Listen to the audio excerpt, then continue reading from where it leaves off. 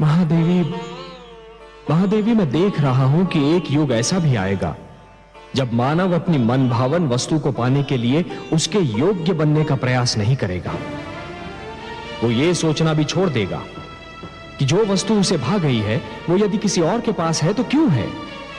उस व्यक्ति ने ऐसा क्या किया कि वो सुंदर वस्तु उसे मिल गई?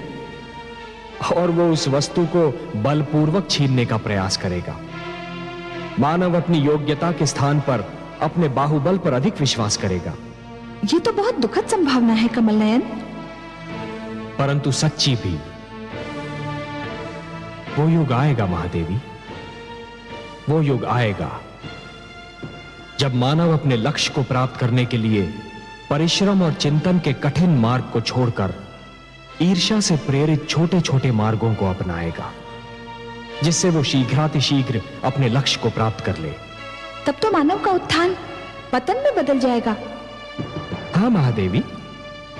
श्रम चिंतन और ज्ञान का लंबा मार्ग छोड़कर जो भी व्यक्ति पगडंडियाँ ढूंढेगा वो अपने लक्ष्य को प्राप्त करने के उपरांत भी प्यासा ही रह जाएगा।